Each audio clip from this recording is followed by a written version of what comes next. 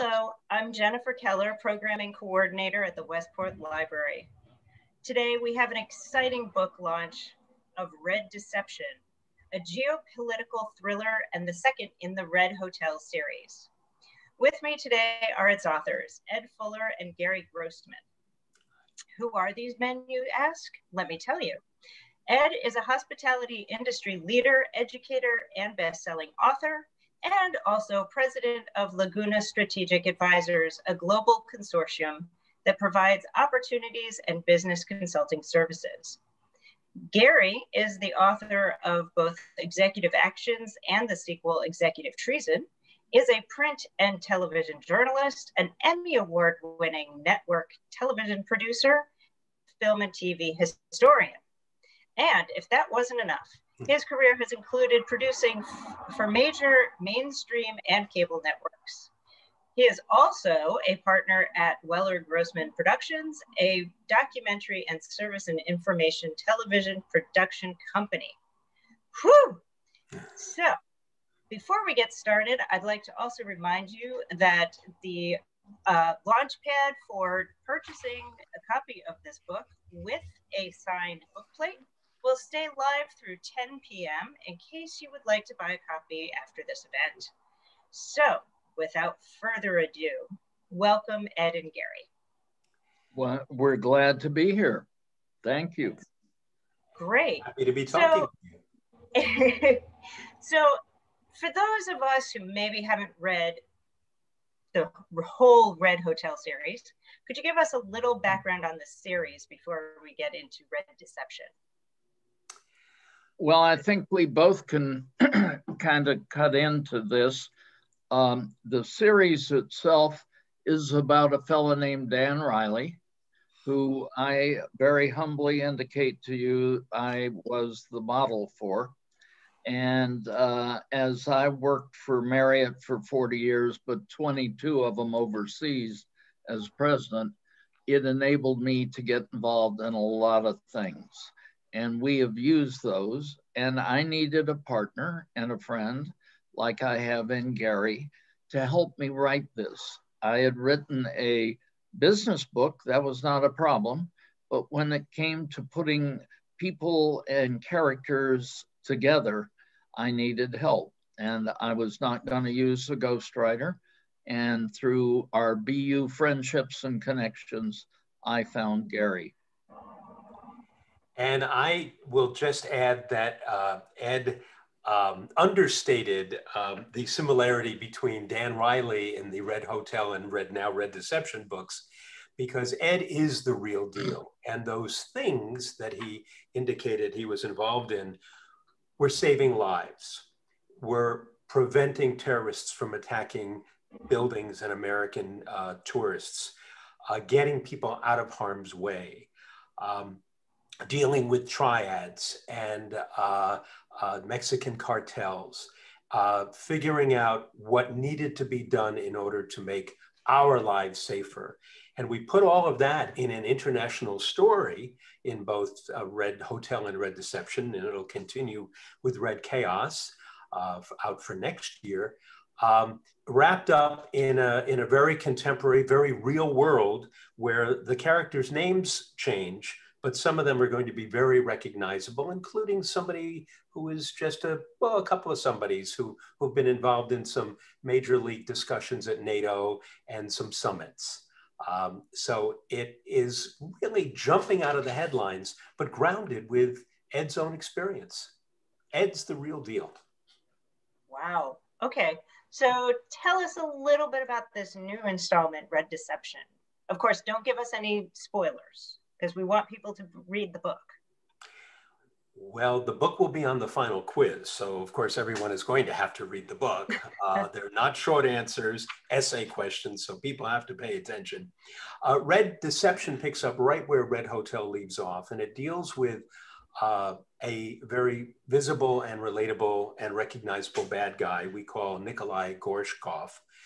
Um, he's the premier of Russia. And like the current premier of Russia, he has had for the last number of decades, since 1989, one goal, and that is to restore Russia to its glory. uh, and retreat and rebuild the um, uh, the satellite bloc nations that he had had, and he will go to no ends to make that happen, including um, uh, establishing, um, putting terrorists in the United States uh, and around the world to create chaos uh, to keep our eye off the prize, his prizes. And Red Deception picks right up with that story, um, really coming out right out of the headlines. Uh, is Ukraine safe? Any more safe than the rest of Crimea? No. What about the Baltic states? Uh, what about the uh, the oceans? Uh, what is he doing? You know, in terms of cyber attacks and everything else like that. So uh, it's fiction, but not completely. Mm.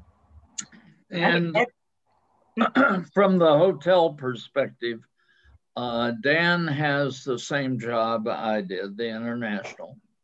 And we dealt with a lot of different agencies uh, that have three initials and are involved in a lot of different aspects that we worked with to ensure the safety of our guests and more so our employees also. And it was important that that relationship existed. But things have warmed up in Red Hotel and things are getting a little difficult. And this particular challenge has brought Dan closer to those agencies and needs in the various countries. Um, there is a cultural touch to this because we worked in 73 different countries in Marriott, and we are dealing with people that have different cultures. And Dan understands some of that relationship, and we blended that in. In, re in reality, there were relationships in my job with those same three initials uh, organizations. And so we have taken, I've been out of the company for a while, we have taken those stories and implemented characters who have come from that kind of a background. And we have done some work, and Dan keeps getting dragged in, not by choice, but by chance into more than a president of a hotel company. And to that point, when I first met Ed, and I met him, it's it's it's a wonderful backstory. I met him because we have a mutual friend named Bruce Feirstein. Bruce wrote the first three Pierce Brosnan James Bond movies. I was a neighbor of Bruce's. Uh, we'd worked together uh, in a couple of TV shows. Ed knew him from boards at BU, and Ed uh, mentioned to Bruce that he was looking for a collaborator. I bumped into Bruce while walking our dog one day. I was sleeping back here, and Bruce said he had a, a, a friend he wanted me to meet, a collaborator was interested in, in uh, writing a novel. Well, it took me 30 seconds to realize Ed Fuller was as much in the anti terrorism business as the hotel business. And those agencies that he talked about that have three letters and, and they're in the news all the time. Uh, but what they try to do is stay out of the news as much as possible because they operate around the world. Ed had to deal with those people in order to get information and share information. And I think we're better when we travel because we know that there are people like Ed who were doing that. And I'm blessed as a collaborator with Ed because every time we sit down, I hear more. I hear more about what happened, and including Ed, you got you put people in in washers and dryers to to to hide them. Uh, in Panama during the Noriega, we'll call it an event. Um, the Marriott Hotel uh, the GM was in the United States for meetings, and our staff was almost all Panamanian. And of course, the country was caught up in environment which I would call an insurrection. And of course, Noriega's troops were just terrible. And they went into different facilities looking to find pro uh, American organizations and people. They got to the Marriott Hotel and they started looking through the hotel. Our staff had taken the customers and put them into the laundry. Now we're talking large laundry tumblers and dryers, and then shut the doors. And the troops never found them. They machine gunned every door in the uh, building. I've gone through it. And they had done everything they could, but they were satisfied that there were no Americans in that building and they left. Eventually, we had to get them out and ultimately did, and that's another story. Oh, wow. Whew. Well, I'm glad I don't have to be in a washing machine for this um, so thank you for telling me how you two started writing together because, you know, Westport is a is a writer's town. I mean, it's very artistic. Uh, we have visual artists. We have a lot of writers who live there. Um, and I know that, so now we know how you met, but how do you go about writing a book together with the two of you? You walk well, us through that process. Okay, it's a I'm great question. Defer, I'm going to defer to the expert. we have a great relationship, and it starts with that. Um, I, I uh, love getting together with Ed. Um, we have uh, terrific food, great breakfasts, lunches. Uh, uh, have we had a dinner? Yes, we've had dinners yeah. as well, uh, and a lot of work time in between, all during which Ed tells stories like the one we just heard and others that you will hear today. Um, from those stories, we we together figure out what's the plot. Where do we want to go? Where do we start? And where do we end? And who are some of the characters that come in. And from that discussion, we do an outline.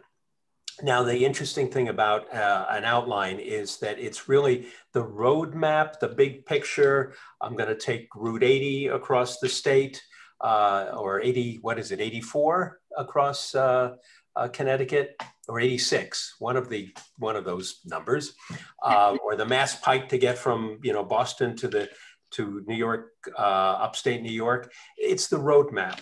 Once we start writing, all sorts of things happen. We, we want to get off here. We want to get off there. We want to explore this character. Uh, there are knocks at the door. It's like a Twilight Zone episode where we'll be in the middle of a plot and I'll call Ed and say, Did you hear that knock on the door? And he, you know, what knock? Well, a character just came into the story. I had no idea why or where, but this is a cool character. And then we would talk about the character. We would talk about um, how that character's story and journey will weave into it. And through this comes a first draft, a pretty solid first draft, often long. And then uh, Ed goes through it. We whittle it down, it gets shorter, then it gets a little longer as we add things. So the process is really collaborative from the very, very beginning. And uh, honestly, I couldn't ask for a better creative partner and a friend. Um, I, I just am glad that, you know, I've researched books in the past from the comfort of my computer right here. And Ed, as I said before, is the real deal. He's the guy who's been out there doing these things. So when we're working together, I don't think we've ever gotten upset with each other. Nope. We've disagreed, We've disagreed, but we agree on a common goal, which is the book to entertain our reading guests. And I kind of look at them as guests. I like that. And the point is that we're looking for situations that create opportunities for more excitement. And so we'll be sitting there and I'll say, Did I tell you about this? And Gary goes, we, we've got it listed, but no, it's not in here. And I said, well, you know, it may apply to what we want to do to turn this situation around. Now we're, uh, me, I'm a junkie for what's going on, history, or modern history or politics. And so I'm reading a lot of stuff and we're saying, well, you know, that'll never happen. But maybe there's a chance, and we have the right to talk about it in the book, and we'll go down that road together. Or we actually dig up one of my stories, like I told you, the Panamanian story, and try to replicate it. The first incident in the Red Hotel, mm-hmm. which started in, I've forgotten the page number, but it was right up front. If you look at that, it is really, it's set in Tokyo, but that was the bombing of our hotel in Jakarta. And it was not hard to build that particular story around reality. Mm. So, about how much of the books are based on your stories, Ed, and how much is just the brainchild, if you will? Well, I would think you've got 25 to 30% of our stories that are used, outlined, and really worked on. Another couple of percentages are used in what if, and we ask ourselves during the incident, what if? Uh, then the characters have really come from Gary, but you've got to remember the first book, the characters were Marriott executives uh, that we used, uh, and a real situation getting one of my female lawyers caught up in a uh, real difficult situation at a roadblock in Egypt and so they had their real names. We looked at each other and we said, we can't do that. And then we, we faked the names out. But I, I would say I've got roughly a little short of half of the book. Gary has the skill to blend and make things happen. And Gary has got a lot of knocks on his door because he does come up with a character or two that I didn't meet before. uh, the the other thing to mention is that um, it's the red in Red Hotel is not about Russia as red, but it's about the um, defensive posture and the anti-terrorism um, approach to safety that Ed developed for the Marriott hotels, a color code with red being the mm-hmm. greatest threat. And how do we get uh, the hotels as defensive as possible. Um, well, it goes through a various color code stage like, like the US has and many companies have, but that didn't exist before for uh, Marriott. So Ed developed that. And that is another part of the books that come out. Um, and what the what the organization and the need for that would be in the boardroom and the awareness and ed can tell you that uh, the higher the higher the degree of preparation and the higher visibility that a hotel has in terms of its defensive posture, the less likely it is to be a target. And where was it in mm-hmm. Mumbai and other places? The terrorists had walked away because? In the case of Amman, Jordan, in the case of Mumbai, in the case of Athens, the police actually reported to us that our security had really turned the folks back that were going to try to have a terrorist attempt. They immediately, though, chose other hotels, regretfully, and our situation is to keep our clients and associates safe. That's our first priority and we do share with the other companies information. And that was true of this character, Dan.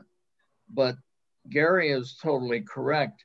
We had to develop that because we were working internationally in these various countries that did not have their own as developed as the US system. My concern is I doubt many people in the US know what the code level is at any given time. And we've kind of forgotten about the issues here that could be in our backyard just as fast as they are in others. So the hmm. book got a little warning element to it too. For, for example, if you don't see an American flag at an American hotel, at a Marriott, it may already be on the red uh, uh, category, or bollards out in front of the hotel, or bomb sniffing dogs, or security that are checking keys as you go to the elevator. They're, those are all steps in what Ed designed. And uh, Ed, what countries might be on red now, or where would you be loath to travel? See, I'm already interviewing Ed again for the next book. well, no, number one, I want to establish something very clearly. Uh, Alan Orlob was my head of security. In the book, you'll find him in there as Alan again. Uh, but um, when we had to move to red, uh, we had to include dogs as a standard part. And we actually had to build a little hotel outside for our security dogs and uh, it I learned a lot about dogs. And I took Alan aside and I said, if I see a poodle in our staff, you are a dead man. well, here I am at home with a poodle. So, and then I found out that poodles actually are guard dogs and were German by background. And the Germans use them as guard dogs for really barking extremely loud and their heavy level of sensitivity. Leaving mm-hmm. the poodles behind and trying to answer the question, Gary, um, when you think about what we were doing and where we were facing these issues, again, the culture played a huge role in, in that environment and being able to work with the people. The issue is these red levels cost money, well over a couple hundred thousand dollars to get a hotel up to a red level. And we had to deal with owners and convince them. Now, Gary asked where I would be, would not go today. Mm-hmm. Simple answer for me, but it's going to sound strange, I think, to you. I would not go to Yemen. And that's about it. I am not hampered from going to the other locations. In my in my lifetime, 151 countries. So it was an I went to do business in these other countries if it could benefit the company and our mission. The fact is that, excuse me, um, when you went to a red country, you had to know about it the board of directors did not let our senior executives go to those countries, but my job was to be there with my people that were working there. And we ended my career with over 80,000 staff and employees um, when trouble occurred. And when you set a hotel to red, the amazing thing is our, uh, our profits went up and our guests went up because the people that were doing business in those countries wanted a safe place to stay. And that's why we did this also. And they mm-hmm. would, many companies will send their security people out to evaluate the hotels where they're sending a large number of their own people. Sorry, I didn't mean to go so long. That's okay. I do I do have a, a another process question for Gary though. So Gary, you've written both the Red Hotel books and your own thrillers, mm-hmm. right? Which is more difficult, incorporating writing a story that incorporates Ed's background and expertise, or coming up with a whole book just by yourself? Oh wow, I've never been asked that before. Um, I I think uh, i've never collaborated. I've collaborated with people on television shows for years. Uh, I've never collaborated, or I had never collaborated with anyone on a novel before. And my first reaction was, well, how can I do that? Um, then I realized many people collaborate on screenplays, as I have with with TV, And so once I decided, yes, I can do that, and certainly meeting Ed and realizing, oh, this is this is not going to be an example of having to invent something out of whole cloth. Um, there's a lot of cloth with a lot of weaving and great texture to to all the stories that Ed has. So I would say this was a um, a different challenge, but an easier process. Um, and the process is is really writing. You know, I, I, I thought when I first started writing um, novels, and I had written um, nonfiction books prior to that on TV history, uh, how could I possibly sit down and, and write a novel? Uh, how daunting is that? And I, and I realized um, I couldn't, but I could write five pages a day or three pages a day and you do the math and it begins to add up. It certainly doesn't mean it's going to be ready to be published, but uh, the volume begins to add up. And the more you write and the quicker uh, you, or the more often you stay with it and not taking days off, the quicker it all comes together. Um, that became very, very true with all my first books, and even more true working with Ed, because we would get to a certain point. I would say, Ed, here are my questions for you today before we meet. And I would throw out a question because it was right at the point where I was. And he said, okay, well, let's talk about that. And here's how we can solve it what happens then is it's not just going forward, then we have backfilling to do. Because to set something up here, we need to sprinkle a couple of hints or suggestions of it far earlier. And as a process, um, I really learned how to work with, with an amazing man, uh, an amazing person. And uh, uh, we're just going to keep going.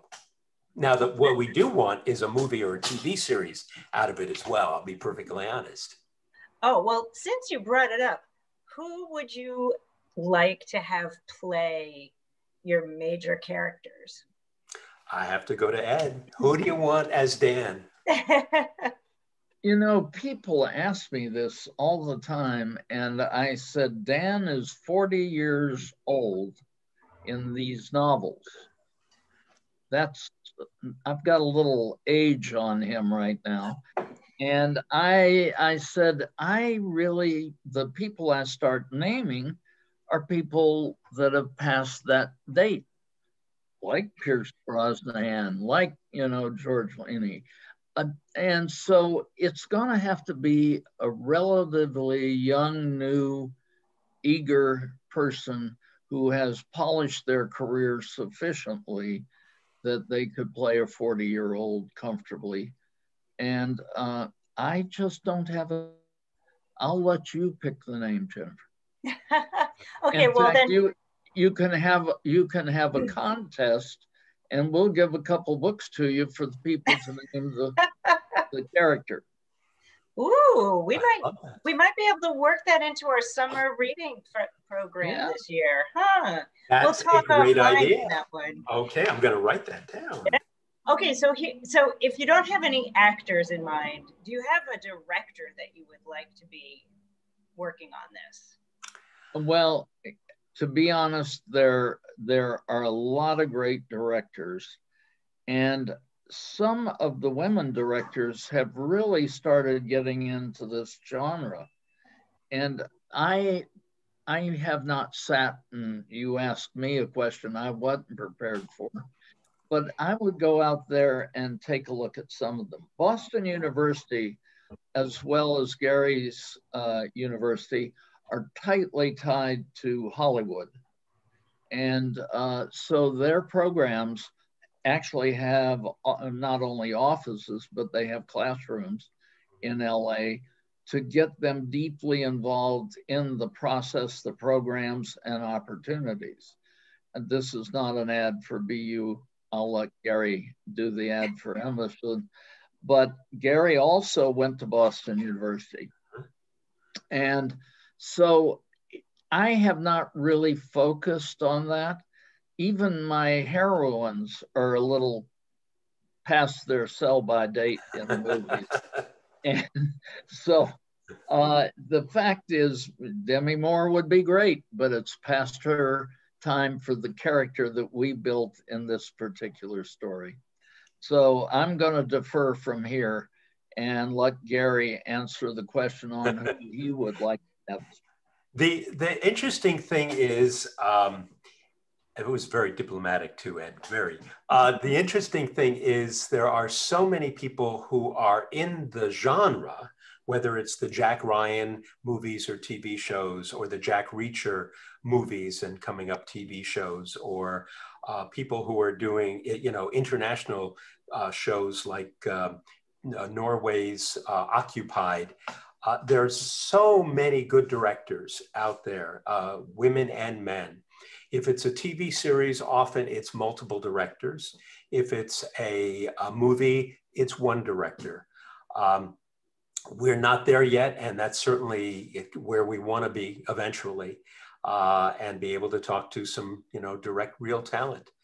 Um, but we're, but you know, clearly we're excited, and you know, we we talk about is it a political thriller? Is it an international thriller? Is it a travel thriller? Is it a geopolitical thriller? Um, you know, and people at the library may may even ask, well, you know, I hope it's not a political thriller because I'm up to here with politics. Or how is it is it rehashing the cold war? Is it an international thriller in that regard? We cross over in so many areas. It's an adventure. Uh, it's a journey. Uh, it's a journey where um, uh, ed's character dan um, is smarter than a lot of other people because he knows what he doesn't know and he knows he needs to work with people who do know or work with people who might be able to find things out that he can't find out. And then if if they know something important globally, what do they do with it? Do they pass it on? I think one of the failings that we saw from 9/11 was that there were real markers that should have been indications that should have been passed along. I mean, if if somebody is coming into your uh, uh, flight school uh, and is not interested in learning how to land a plane, only fly a jumbo jet, wouldn't that make you want to tell somebody about that? Um, if information comes in that um, the Capitol is going to be stormed and here's what's on the internet, wouldn't you want to make sure that that kind of information goes forward? Well, Dan is part of a team and he's smart enough because he comes out of Army, as Ed does, He's work, he works with the State Department and the CIA and in ways that Ed has. He's smart enough to know that he needs to talk to people. And it's once things are recognized that I think that's really what makes a good thriller. It's the pieces that come together. It's the mystery. We could call it we could call it an international mystery for that fact. You're just answering all the questions that I have already written and that's great. Um, except now I have to tap dance. Um, uh, so it it sounds like what makes Red Hotel and Red Deception and the upcoming Red Chaos um, different from a lot of other thrillers is this basis not within an agency with three letters, but within a hotel. Is that's what you would say, right? So why do you think that will draw people? I mean, it does give us a whole other avenue of, of thought process. Um, are you finding that people really like that different sort of vein? And and well, also and also, does Dan have like long chapters where he's just running through cities, like in everybody else's thrillers. Well, let me ask the first part, and I'll let Gary go after the second question while you work on the next question. So, um, so the reason hotels work, at least in my mind, um, we've filmed a lot of different shows, action shows, I've got a picture of one of our hotels blowing up, fake, and uh, and you know there are a lot of situations, and we're always part of that, but we do it as a company to be known and get on the screen. And and there are a lot of examples and some sad stories I can tell you about that as to how they went a little wild. Uh, the fact is, people use hotels now. A lot of people use hotels and specifically resorts. People don't look around them to see what's going on, but they feel the excitement of a hotel. And let me tell you, you can walk into a hotel and be standing next to a star or a political individual, but you don't know the story that happens when they go to the room or when they go down to the pool to meet someone or go into the restaurant to talk to a bad guy or a good guy. And we have been, as an industry, very quiet about talking about the things that happen in hotels that you don't want to embarrass the country about. The real answer is that we do that automatically. There have only been a few tell all books that were set in hotels. But you would really want to know that a lot of things happen in hotels that you couldn't even believe. And I think that makes it a unique setting for the story to be as a base for the people to relate to comfortably where they may not relate to something in the military term or some other area. Gary, anything you want to add? Sure. Um, it, it, we've seen so many stories about a Secret Service agent, and we've seen spies and MI5 and MI6, uh, people working for Interpol. So, to some extent, what world are we going to build a story around? And along comes Ed, and we have his story and, and his real experience. Um, now, Dan, in a, in a matter of 350, 400 pages, um, is not solving a crime as Bosch does in Los Angeles, as Michael Connelly's books show, but he is traveling around the globe.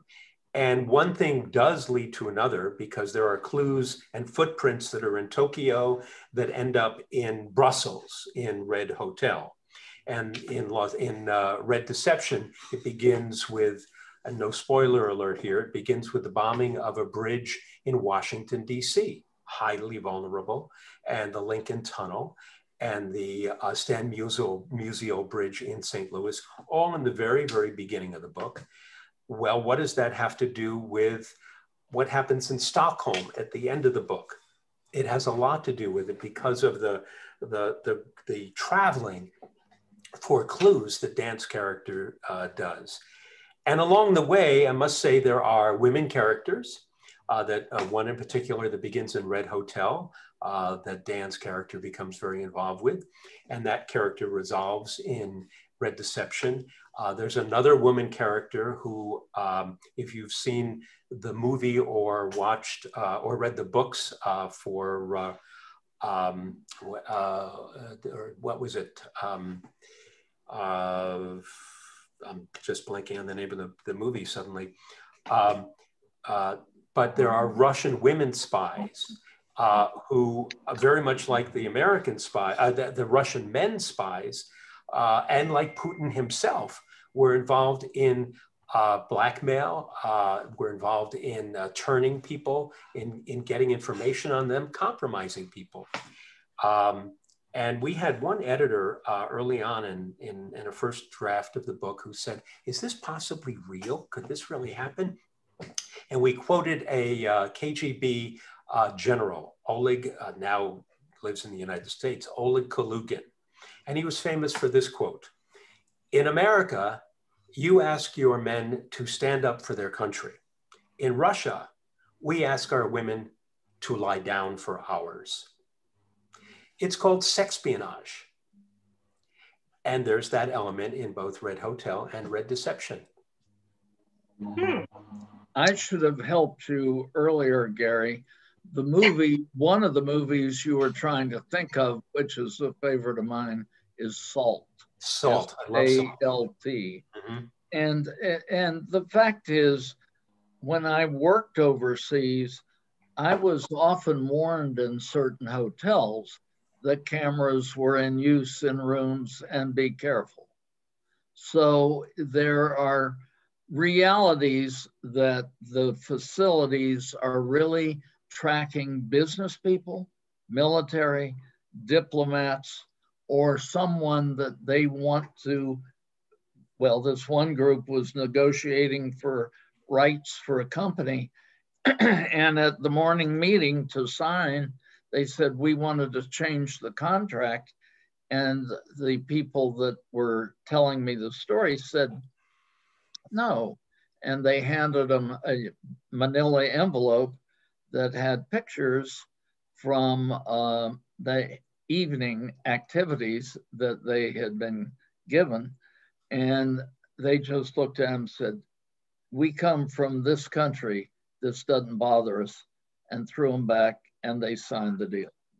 But they had gone, the country, well, the country was Cuba, uh, had gone through the process of taking the pictures and trailing the characters. And the other movie, by the way, was Red Sparrow. Came out a few years ago, series of books as well. Uh, oh. Uh, those people are real. They're real. But now there's a title you guys can't use. this is true. Book oh, seven no. will have to be Red Robin. we'll discuss. We'll discuss that one some other time. Um, so, just thinking about the myriad of things that have happened in the past year, um, are there any news bits that you think you might use in further plot lines in the Red Hotel series? Ed, jump right into that one because um, it's maybe the most dangerous country out there. I just can't bring myself to take you into red chaos, but let's let's think about what we're seeing around us. You've got global warming that is impacting the dynamics of the world and impacting different demands and issues that might come up. If, I can't believe the report I heard the other day, which is that the Navy and the Pentagon says those things flying around up there that everybody thought was crazy are real, but we don't know whether they're aliens or the Russians or the Chinese. I mean, that in itself has unbelievable concern if, in fact, they were Russians or Chinese. I'd prefer to have an alien appear right now. and so uh, the fact is that there are things happening right now with us trying to be a different country, going back four years to who we were. Our focus on people, care, and contribution to the world. And there are things happening with two very, very unique people. One is the chairman for China, and she has declared that he is leader for life. And we know that Vladimir Putin wants to be leader for life. And when you think about that, we haven't had that powerful a dictatorship environment um, in today's world in years and years and years, goes back to World War II. And the last thing that I've spent a lot of time on, and it may appear sometime down the road, is China. I've been there well over a hundred times, worked in the market, and spent a great deal of time with different owners in the market. And there's a very clear message if you understand their history. The Opium Wars changed their view of the Western civilizations, and that has stuck in their craw for centuries. And the fact is that they want to return to their preemptive position well before the Opium Wars and to be the strongest and the most powerful. And if you find that as a uh, maybe, you'll find that that's discussed at school level. And that's an issue that is real. And when you see the potential of the country, um, anything is possible. You got a good preview there. No, I'm, I'm now trying to think of what other countries the, these books might go to. Um, well, there's, you know, uh, as long as um, Russia and Putin remains a player, I think Nikolai Gorshkov will remain in the books. As long as global economics are so tied to oil as they are, um, and uh, other natural resources, uh, as long as there's the ability to get in and hack political systems, whether it's in Ukraine or the United States or France or anywhere else, and other countries are doing that. And as long as we are not doing anything really in retaliation, which was certainly part, I'm sure, of the discussion that went on between Putin and President Biden, um, that um, we'll have things to write about. And I, guess the, the, the key thing to remember as writers is that we do start with a blank page and we think the unthinkable. Well, the more you think about the unthinkable, the more you can come up with maybe it's so far unknowable, but it doesn't mean it isn't happening. And then we start laying out okay, what would it take to really make this happen? And we come up with a scenario.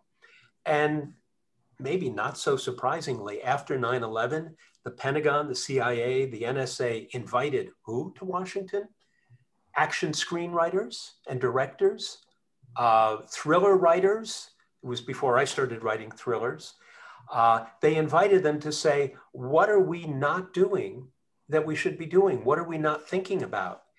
And even to this day, thriller writers are sent out on what are called red teams. Go evaluate how easy it would be to do harm to an incoming plane from an airport hotel or from uh, a side road or, or a shopping area. Uh, are there protections and bollards up in place? You go in and you observe from your creative point of view because you will see things that we're just not thinking about.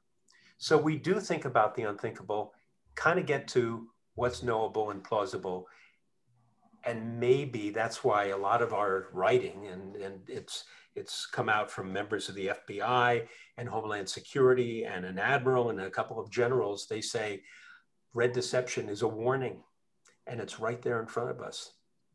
Hmm. Okay, I so scared myself now.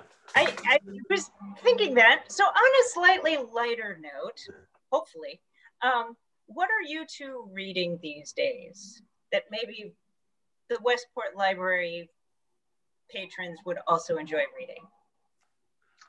The problem with the not professional author, that's me, uh, the problem is that I'm reading stuff that I like, and it's always been thrillers, uh, Clive Cussler, and clearly any number of some of the traditional writers, even though they are turning over some of their writing to their sons and daughters and friends, uh, they have really been who I've watched, who I've seen, and who I've enjoyed on long flights, which I had a lot of. Uh, but I'm not necessarily out there finding the new uh, author to follow except for this book, The Red Hotel. That's the one that has all the potential going forward for me. Do you, okay, but tell us some of your favorite thriller writers then. Well, Cluster, uh, sorry, Cluster is one. Uh-huh. And I would say that when it came to Red October and some of those thrillers around Jack Ryan, that was spectacular. and had all the depth of detail, but also had the excitement and the kind of naive individual who was uh, the character that was built. Uh, you could take it one one at a time, but it's probably going to be an established writer. And I would say, uh, well, I'm, I'm going through um, so Ed doesn't worry. This is after I'm through writing for the day and in bed, but I'm going through uh, Michael Connelly's Bosch books, which I love. Um, and I love the TV series and the newest edition, the seventh season is coming out soon. Um, I, I, on a on a also nonfiction or a fiction uh, side, uh, Jon Land, a great thriller writer, um, also in the International Thriller Writers Association, as is Michael Connelly and a number of others I'll mention. He has a new series of books uh, based on the Murder, She Wrote TV series that are just very quick reads and fun. And he's from Providence, uh, and I think he's from Providence, and uh, a terrific writer. Uh, Kimberly Howe uh, writes thrillers, a woman thriller writer, excellent. Um, nonfiction, Malcolm Nance's books on American contemporary American history. And I think the big takeaway that works into our books, he's former Navy intelligence officer, go-to guy on the uh, cable news channels. Malcolm Nance says, and this certainly works into Red Deception, coincidences take a lot of planning. And if you think about that, that's exactly what makes writing for us fun. And I think writing, whether it's a thriller that we do or going back to an old Sherlock Holmes, you kind of figure out what are the clues and what are the, what are the coincidences and who planned them and what's the scheme. In listening to Gary, it's interesting. So a book was entertaining for me to get away from the business but the amount of reading you do today, even more so post uh, internet, uh, the fact is, as a business person, you're reading on and on and on on figures and strategy, and that is not necessarily made to be a thriller. In reality, some of them become a thriller, but uh, the fact is, business people don't spend enough time uh, reading. And I would say that that is also true of anybody who has a job today and is pushing so hard to find good time to relax around a book. I think books need to come back. I understand there are Kindle people out there and they are wonderful, wonderful customers. Audiobooks, I've got a few, but the fact is that uh, good reading has to be set aside. And it's only in the last few years that I've had the time to really be fair about giving myself time to read. And I do continually read those Red Hotel series because they just are the right entertainment for me. That's the level. And Jennifer, I'll also add, in addition to, well, you know, plugging Red Deception, Ed uh, has a book out called You Can't Lead with Your Feet on the Desk. It's a business book, uh, and it's published around the globe. Uh, a lot of our stories in Red Hotel are, come from his real life stories that are in You Can't Lead with Your Feet on the Desk. And the message is if you're an executive, if you're working in a business, you you got to be out in the field. You've got to be out talking with people. You've got to be out collecting information. You have to be out observing. You have to be able to say, that's not good enough or that's not safe enough. Um, that comes from Ed's first book. And it's, it's a terrific business book, but oh boy, it is really a primer on on how to conduct yourself in any job as well. Uh, mm. And that'll cost you another lunch. uh, it, wow. It's a deal, and we'll figure out where later. Uh, but uh, so Gary plugged it, thank you. but uh, this came out in 2011. And uh, I was very pleased. Bill Marriott endorsed it and um, Marriott got behind it. But it was really not a story about Ed at all. It was a story about business steps and what you need to take. And Gary touched on it, but I'd say the one thing I'd like to stress it talked about relationship marketing, relationship existing, relationship managing, which we don't necessarily understand when we take it overseas. Mm. Well, I say that your next lunch should be in Westport, Connecticut. just saying. I'm just going to plug. You can come visit the Westport Library at the same time. Uh, we do have a cafe, so you can get a cup of coffee along with that lunch. Great. Um, I thank you both so much for telling us about Red Hotel series and Red Deception. Looking forward to Red Chaos next year. Um, thank you so much. Thank and, you, Jennifer. Thank you. And by the way, uh, if anyone wants to check out the website, it's uh, redhotel.com and all the information on all the books are there. And uh, definitely go to the library, uh, support libraries, please, please, please. Brick and mortar absolutely counts. Also local bookstores, community bookstores. Uh, but we're also on the, uh, the internet on Amazon and Barnes and Noble and every, every place else. Great, thank you. And thank you all at home for joining us today. You can purchase a copy of Red Deception through 10 p.m. tonight through the link on the registration webpage, or of course you can borrow a copy from the library. Remember to watch westportlibrary.org for future and recorded events. And thank you both so much. This has been a pleasure finding out more about th these thrillers. Thank you. Thanks, Jennifer. Our pleasure.